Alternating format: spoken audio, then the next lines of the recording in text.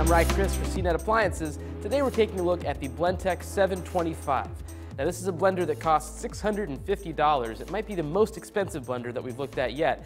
Now this isn't the first Blendtec we've reviewed. Megan Wollerton reviewed the Blendtec Wildside blender last year. That blender did very well. It, kept right up with Vitamix. The two were basically tied at the end of the testing, so we liked that blender a lot, and I was excited to test this one out.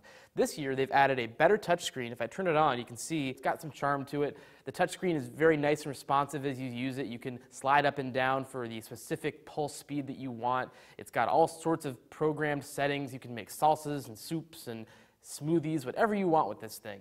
And I like all of that. The technical side of it, the touchscreen, it's also very powerful. With 1725 watts and a 3.4 peak horsepower motor, it's got a lot of juice, but perhaps too much for its own good. And let me tell you what I mean.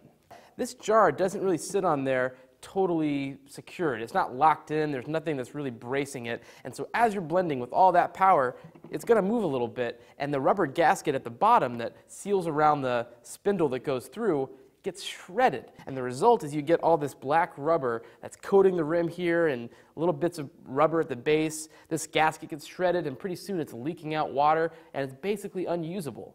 Now, we wanted to be sure this was a legitimate problem, so we got a couple of replacement jars. We bought a second one of these to make sure it wasn't just a defective unit.